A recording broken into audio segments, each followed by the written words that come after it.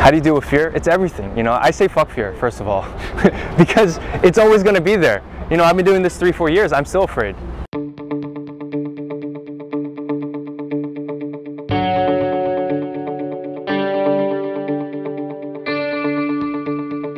My name is Brian, Brian Tam. I am the founder and CEO of Let's Make Great. Uh, we're a creativity consultancy focusing on the next 100 years of innovation in China. So basically what that means is we do anything and everything to help people to become more creative within China. We were uh, doing some Google research, Google research, and just looking at the different words that uh, are popping up. And if you search creativity in China, it's very, very low. All the new top 10 results are all negative results. They're saying eh, these are, these, it's not gonna happen. Education is not gonna allow creativity to happen. But then, interestingly, what's changed is that if you search innovation in China, the results are going up. So it's all positive news about how China is becoming more innovative. Chinese companies are becoming more innovative. So there's a, a, a change happening. It's in wordplay, but I think it's a real change. It's changing a lot. Uh, I started about three and a half, four years ago now. Uh, and since I started, I could see that larger scale organizations are now starting to reach out to startups and build up collaborations and connections. So BMW has a now an incubator. Uh, OMD is working with China Accelerator, of course. Uh, Unilever uh, and another New Zealand milk company, I forget the name, Fonterra, I think it is. Yeah, they're also working with uh, internal entrepreneurship and and building up their innovation game that games or that way. So I think it's it's happening. It's starting to change three, four years ago when I started, I was like, entrepreneurship, this is the way to the future. This is gonna make everything, the world a better place. You build a, you build a company inside a bigger company. You know, how great is that? You get uh, all the joy and freedom of your own business, but, and also you get all the uh, power and distribution of a large company. And I thought that was gonna be it. Uh, companies don't like that uh, a lot of times. They're like, wait, you want them to be the boss? Well, what is my job going to be? So there's a lot of people pushing back on that, but there's also a lot of other people that are making it happen because they do see it as a way forward. So those are the, the front runners, and, and so there's hope. There's hope. Yeah, I think there's a lot of people who don't get it. I mean, they're just trying to, they're not really doing the, the, the homework of talking to the people who are actually going to be using it or, or getting in touch with their, their ideas. So that needs to change. Um, yeah, for sure. You know, definitely. I mean, do they think they know better than the Chinese? Or like, there's a certain arrogance. There's a certain arrogance. Everybody has arrogance, though, so that's always going to be the case. You know, we are from the West. We know better, and this is what we should be doing.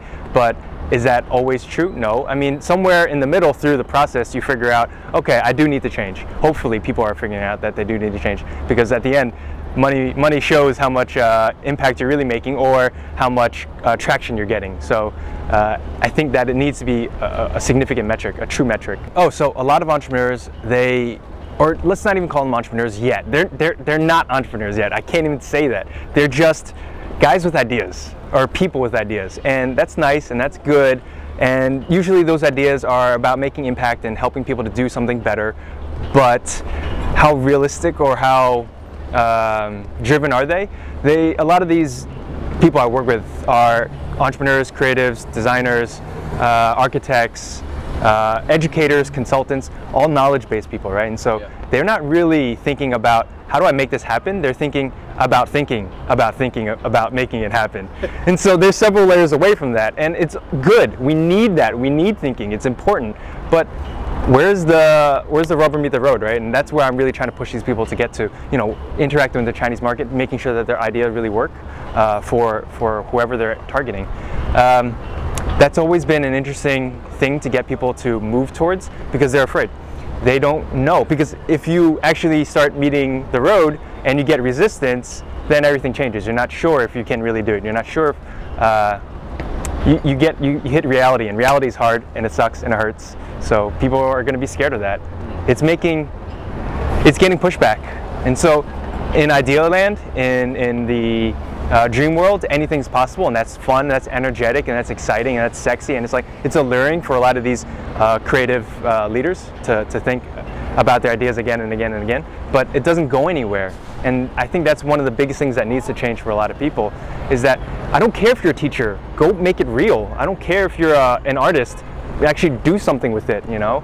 Everyone's got ideas. It's not about ideas, it's about execution. So that, but it's fear.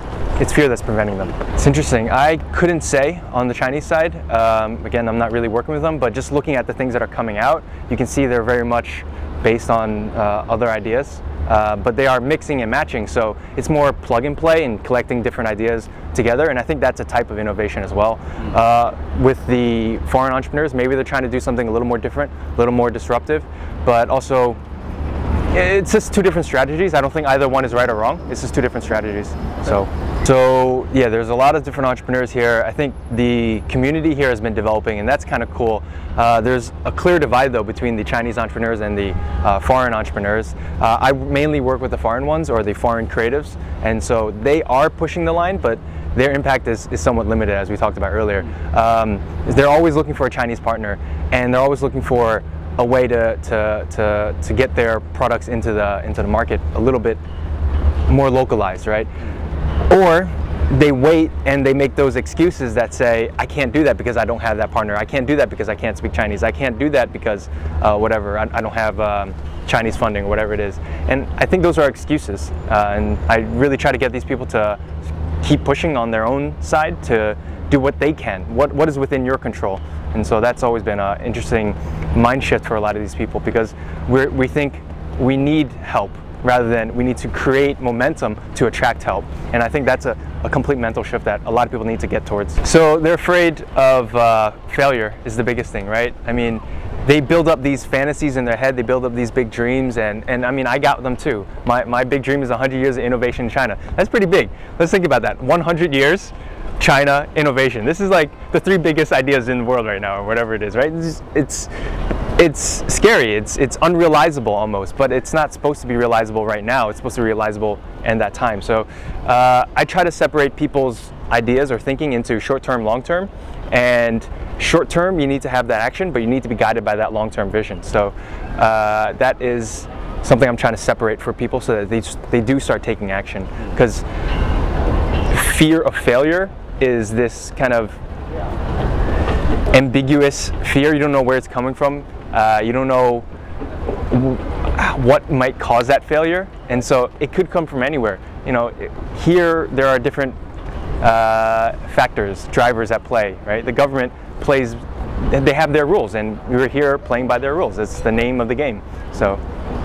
How do you deal with fear? It's everything. You know, I say fuck fear, first of all, because it's always going to be there you know, I've been doing this three, four years. I'm still afraid.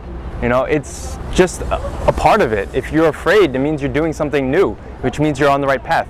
If you're afraid, if you're not afraid, then what are you doing? What, what, you're so comfortable that you don't have to think about it. You're not putting yourself out there. Then what value are you adding to society, to your team, to your company, to the people around you, right? So you need to be doing something a little bit scary at least so that you can start to realize it. So I say, first of all, fuck fear. It's there deal with it. Uh, second of all, uh, start small. You know, get that feedback early so you know uh, if you're on the right track or not. So uh, if you have those small wins, they build up to a big win at the end. So that's a super, super critical step. And small step wins. What's, what's mm-hmm. a win when it's a small step? Is it market so, knowledge? Is it yeah, yeah. the first 20,000 RMB? Is it? Well, 20,000 RMB, some, you know, for entrepreneurs, that's a, that's a big win, you know? Uh, it is, small wins are even just people smiling as you talk about the idea and people are smiling and nodding and they go, okay, I kind of get that, right? A small win is even, they gave me feedback uh, that I can use to improve it. So, so maybe sometimes a small win is everything. Uh, you're just trying to switch your mind into looking for the small win rather than uh, looking for the failure, looking for the reason that you shouldn't do it. And I think a lot of people who are very smart uh, you know, these educators, consultants, designers, very, very smart people, very creative people, right? But because they're so critical, they start looking for all the reasons they shouldn't be doing it, all the no's. And uh, that adds up, you don't do anything. There's no action then. You just stop. You're paralyzed by fear. So I'm saying look for that small win, no matter what it is. No, there's always a small win. You got to look for it. You got to make, and as long as you take action, you, you have a small win. So that's, that's, that small win, taking those small steps is really, really key. So for me, I don't give a shit about it. It's not for me to label. I don't care about labels. You can you can call it whatever you want. As long as you're doing good, adding value, making the world a better place, you know, I don't care what you call that, but make sure that happens, right? If you're an entrepreneur, if you're a businessman, if you're a politician, if you're a homeless person, make the world a better place. It's that's it. why, why, else are you alive? Why is your heart beating? Why are you breathing air and consuming things, right? If you're not giving back in some way, right? Uh, my girlfriend, she's really amazing because she she'll, she'll give uh, to, to all the homeless people. I'm like, oh come on, you can't you can't do this, right? But if they're playing music, she, she'll take out the 10 RMB or the 20 RMB note and she'll, she'll give them a little bit more, right? right? I think that's it's the idea of because they're adding value, they're creating this uh, atmosphere of, of positivity and enjoyment, right? Just like that. There's a positive atmosphere that we all can live and love by. It's, it's amazing. And so, giggle through. And giggle through. I like giggling. So everyone's different. I can't give you an answer for how to start or where to start, but just start. yeah. That's that's the wrong question to be asking. Is just yeah. starting, right? And so uh, if you have one tool, go with that tool right now. If you have a million tools, then all right, maybe it's time to start using some of them, right? Yeah. All these ideas are all really nice, but the ideas are pointless until you action them, until you realize them. And that's what an idea is for, right? It's for action, to, to make it come true. And so uh, I had that problem, right? I was, uh, I was a marketing guy uh, doing project management. Let's call it project management. Then I was an English teacher. Then I was a, another marketing guy in another leadership development company. And this was just ideas about ideas about ideas about ideas. And it just drove me crazy. I, I wasn't satisfied. And I thought, why not? Because they were just in my head and they weren't in reality and they weren't a part of my reality. And so I went out and I quit my job and then I started Let's Make Great and I decided that this would be my vision. By reflecting on my past, I looked at the whys of my past and then I saw that these whys, these motivations were all leading towards something that I didn't even realize until I reflected. So uh, I did, I was lucky enough to have built up six, seven, eight years of working experience before I started reflecting. I know when you're a little bit younger, you you don't have enough experience to to know why yet. You, you just don't you haven't collected enough dots. That's some people say that. I don't think it's true either. I think if I reflected earlier, I probably would have thought of I, I probably would have seen it earlier, but nobody was pushing me to think about it. So uh, but that's that's on me. I just it's just circumstance, right? Yeah, yeah. I mean, are you taking action? First assessment, are you taking action? And action is, research is not action. Research, preparing, planning is not action in my definition, all right? Um, getting feedback, talking to people and uh, building something, that's action. So, you know, I was, I was looking at, uh, I'm gonna call you out, right? I see your uh, stopping and starting, stopping and starting. Have you actually put them all together yet? One video? Yep. Okay, good. Because I know I did that. Try, I tried to shoot a video before, and I stopped and started and stopped. And started. I couldn't bring it all together because there was like these weird cut points, right? And so that drove me crazy. I was like, "Are you?" I was gonna say, "Are you? Are you taking action, dude? Are you really, you know, finally following through with that, right? Yeah, thank God for you, right? That's so, action. I hired her. smart. Yeah, that's a big deal. I think uh, two things about this question is first is that um, entrepreneurship is the modern day spiritual journey, right? Because what is that? In entrepreneurship, you figure out who you are, what you're about, what you're trying to do, and uh, what value you have to society. If those those aren't spiritual questions, I don't know what is. It doesn't matter. It just happens to be that if you do follow entrepreneurship, you figure out these things. Um, and then in China, it's nice because coming from the West, at least. Um, you end up in this place where all the rules are different slightly or majorly and you just kind of go why and by having that huge impact to your your expectations and your beliefs that not everybody is crossing the road in the same way. Not everybody is dressed the same way. Not everybody's talking the same way. Not everybody's treating me the same way. All those expectations that flip you around, that flip you mentally around, it's very challenging, very frustrating, very difficult. But that creates a better environment for you to think creatively and think differently about doing something. So China is great because of that for now at this time and place. Uh, I think there's no better place in the world.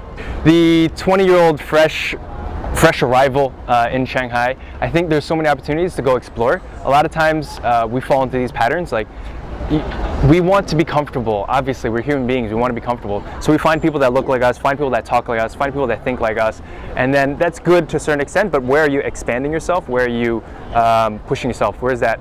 Again, feeling uncomfortable, feeling afraid. That is a good thing. So use that as your barometer for right or wrong. Um, yeah, how much does it scare you? How much is it gonna like? The, one of the biggest questions is people are asking like, what am I supposed to do? I'm like, what are you most afraid of? And that's the answer. That's that's what they should be doing because they already know, but they're everything is an excuse. I can't do this. I shouldn't do this. My mom, my dad, my sister, my, my friends, they don't get it. They won't, you know, uh, the, the market says I shouldn't do it. The advisor, Brian says you shouldn't do it, right? Fuck that. I'm wrong, you're wrong, everybody is wrong, but you go figure out your own way. And so if people are telling you wrong, you know, listen, of course, and make sure you, you get that, but move forward too. But don't let it paralyze you. A lot of people let them let some paralyze, and I think that's like, ah, it's really, really annoying and scary. And you see those people, and when they become 41, uh, you know, I'll continue with this, right? When they become 41 and they haven't gone their own path, they become different people. They become kind of shells of their previous self where they aren't really pushing the boundaries as much. They forget how to, they forget they should, they forget it's natural. And uh, they, they, everything is an excuse for why it won't work, why they shouldn't do it, why it's not their responsibility, and, and all this sort of stuff. So uh, it is a very, very strong contrast between these two kind of people. Thinking about all of the ideas that I have. And, yeah, and do it. Like, I mean, you know, it's easy. How, how do you pick one? Because there's yeah. all these things. You know, like right now, I'm trying to yeah. write a proposal for a grant for uh -huh. um, the National Geographic Fellowship. Cool. Good luck. And the end goal I know is a documentary. Okay. And writing for National Geographic. Okay. The topic I have billions of them because there's okay. so many things you can cover. But I yeah. want something new. I want something innovative. Yeah. I don't want to just repeat everybody yeah. else's work. Yeah. So what have you done?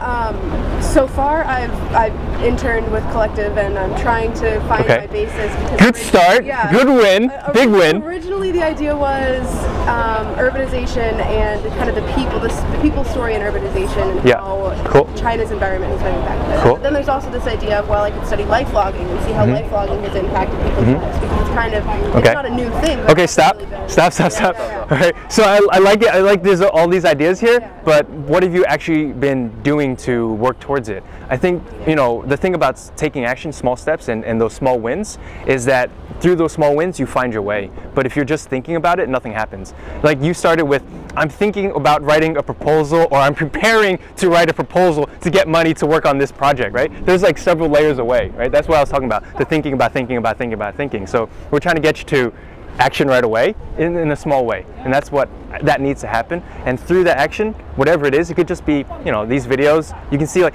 I really don't like interviewing idiots like this. This doesn't help me in my career. Or you go, you, so you, now you know that's not what you want. Or you find out, this is great. If I could do this for, you know, times a million, times a thousand, wherever it is in, in a city out in the middle of nowhere, I'll be very happy. So you start learning from there. And, but it requires small steps, small action steps. So how do you pick just? You don't pick, you just do. So even if there's all of these ideas and yeah. this deadline, yeah. how do you know? Who's the deadline for? Uh, for the proposal, for the, it's for the grant. Yeah. So like I have until October to decide and write a proposal. Just do one. So, so you think just? Yeah. So you think yeah. just? I started way too early. So you think just like? Could. Take a direction, run with it, and see where it develops. So, so uh, I think a lot of times we are looking at different directions, and any direction is a good direction, but until you know why.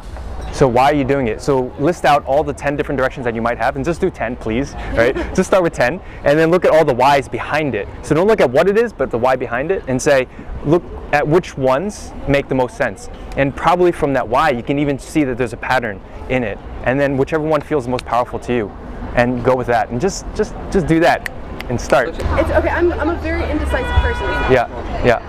Congratulations. How does, into, how does that play into finding an action and just going with it? Like, uh -huh. It, I, I so indecision comes from people who aren't tapped into their emotions, right? And I don't know you, but uh, typically this is what happens. People are too logical, too smart, and they're analyzing, they're not feeling. So I'm gonna ask you to feel the right answer. That's why I asked you to look at the whys, and from the whys, you feel that this one resonates with you. So you're gonna go with that. And of course, these are all ideas that you're coming up with, so they should all resonate in some way. But we're, talking about ones that really make you go like, oh shit, I have to do this. Like, I, this is it. This, it just goes, oh, of course. Why didn't I think of that? And you probably, I think you're smiling. I think you have that idea already. So go with that.